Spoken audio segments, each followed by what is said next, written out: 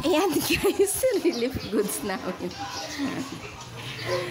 ano ta? Buksan mo nga. Buksan mo.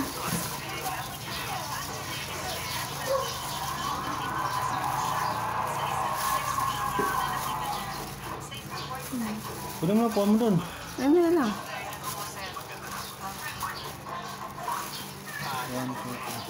Home quarantine, 13 ngayon.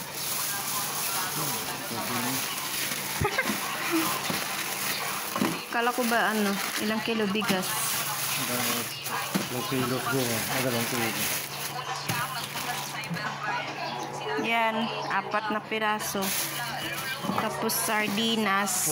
Lagyan mo ng pangalan to. Home to.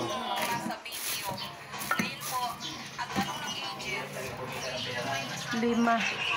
Limang sardinas at saka hindi ko alam ilang kilo bigas. Mga dalawa siguro yun.